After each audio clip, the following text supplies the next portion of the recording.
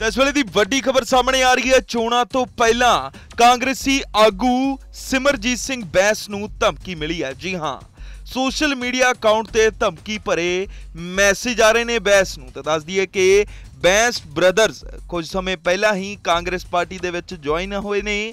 Congress party ਦੇ ਵਿੱਚ ਸ਼ਾਮਲ ਹੁੰਦਿਆਂ ਹੀ ਉਹਨਾਂ ਦੇ ਵੱਲੋਂ ਬਿੱਟੂ ਦੇ ਨਾਲ ਇੱਕ ਕਾਲ ਰਿਕਾਰਡਿੰਗ ਨੂੰ ਵਾਇਰਲ ਵੀ ਕੀਤਾ ਗਿਆ, ਜਿਸ ਤੋਂ ਬਾਅਦ ਕਾਫੀ ਸਿਆਸੀ ਇਲਜ਼ਾਮ ਇੱਕ ਦੂਜੇ ਤੇ ਲਗਾਏ ਗਏ ਤੇ ਹੁਣ ਸਿਮਰਜੀਤ ਸਿੰਘ ਬੈਂਸ ਦੇ ਵੱਲੋਂ ਇੱਕ ਸਕਰੀਨਸ਼ਾਟ ਆਪਣੀ ਸੋਸ਼ਲ ਮੀਡੀਆ ਅਕਾਊਂਟ ਤੇ ਸ਼ੇਅਰ ਕੀਤਾ ਗਿਆ ਹੈ, ਜਿਸ ਦੇ ਵਿੱਚ ਸਿਮਰਜੀਤ ਸਿੰਘ ਬੈਂਸ ਨੂੰ ਧਮਕੀਆਂ ਆ ਰਹੀਆਂ ਨੇ।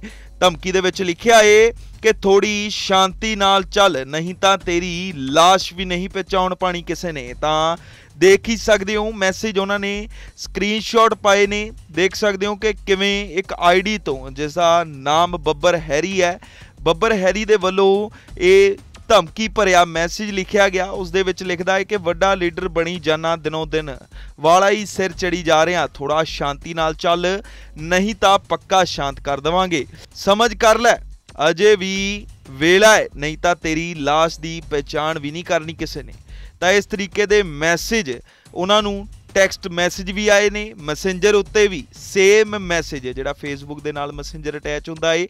ਉਸ ਤੇ ਵੀ ਡਿਟੋ ਸੇਮ ਮੈਸੇਜ ਧਮਕੀ ਭਰਿਆ ਮੈਸੇਜ ਭੇਜਿਆ ਗਿਆ ਏ। ਤਾਂ ਬੈਂਸ ਦੇ ਵੱਲੋਂ ਸਿਮਰਜੀਤ ਸਿੰਘ ਬੈਂਸ ਨੇ ਜਿਹੜੇ ਉਹਨਾਂ ਦੇ ਵੱਲੋਂ ਇਹ ਜਿਹੜੀ ਸੂਚਨਾ ਆ ਇਹ ਪੁਲਿਸ ਨੂੰ ਦੇ ਦਿੱਤੀ ਗਈ ਆ। ਹੁਣ ਫਟ- ਜਲਦ ਤੋਂ ਜਲਦ ਇਹਨਾਂ ਧਮਕੀ ਭੇਜਣ ਵਾਲਿਆਂ ਦੇ ਖਿਲਾਫ ਕਾਰਵਾਈ ਕੀਤੀ ਜਾਵੇਗੀ। ਪਰ ਵੱਡੀ ਖਬਰ ਹੈ, ਸਿਮਰਜੀਤ ਸਿੰਘ ਬੈਂਸ ਲੁਧਿਆਣੇ ਦੇ ਵੱਡੇ ਆਗੂ ਨੇ ਲੁਧਿਆਣੇ ਦੀ ਵੱਡੀ ਤਸਵੀਰ ਨੇ ਤੇ ਤੁਹਾਨੂੰ ਦੱਸ ਦਈਏ ਕਿ ਕਾਂਗਰਸ ਦੇ ਵਿੱਚ ਥੋੜੇ ਸਮੇਂ ਪਹਿਲਾਂ ਹੀ ਦੋਨੋਂ ਬ੍ਰਦਰਜ਼ ਬੈਂਸ ਬ੍ਰਦਰਜ਼ ਦੇ ਨਾਮ ਤੋਂ ਜਾਣੇ ਜਾਂਦੇ ਨੇ, ਤਸਵੀਰ ਦਿਖਾ ਰਹੇ ਹਾਂ ਰਾਹੁਲ ਗਾਂਧੀ ਨਾਲ ਖੜਿਆਂ ਦੀ। ਸ਼ਾਮਲ ਹੋਏ ਸੀ, ਜਿਸ ਤੋਂ ਬਾਅਦ ਸਿਆਸੀ ਇੱਕ ਦੂਜੇ ਤੇ ਇਹਨਾਂ ਨੇ ਵੱਲੋਂ ਬਿੱਟੂ, ਰਵਨੀਤ ਸਿੰਘ ਬਿੱਟੂ ਜੋ ਬੀਜੇਪੀ ਦੇ ਉਮੀਦਵਾਰ ਨੇ ਲੁਧਿਆਣਾ ਤੋਂ, ਉਹਨਾਂ ਦੇ ਨਾਲ ਗੱਲਬਾਤ ਦੀ ਇੱਕ ਆਡੀਓ ਜਿਹੜੀ ਹੈ ਆਡੀਓ ਕਲਿੱਪ ਵਾਇਰਲ ਕੀਤੀ ਗਈ ਸੀ ਤੇ ਹੁਣ ਇਹਨਾਂ ਦੇ ਵੱਲੋਂ ਸੋਸ਼ਲ ਮੀਡੀਆ ਦੇ ਉੱਤੇ ਆ ਧਮਕੀਆਂ ਵਾਲੇ ਸਕਰੀਨਸ਼ਾਟ ਪਾਏ ਜਾ ਰਹੇ ਨੇ ਜਿਸ ਦੇ ਵਿੱਚ ਇੱਕ ਬੱਬਰ ਹੈਰੀ ਨਾਮ ਦੀ ਆਈਡੀ ਤੋਂ ਇਹਨਾਂ ਨੂੰ ਧਮਕੀਆਂ ਭਰੇ ਮੈਸੇਜ ਆ ਰਹੇ ਨੇ।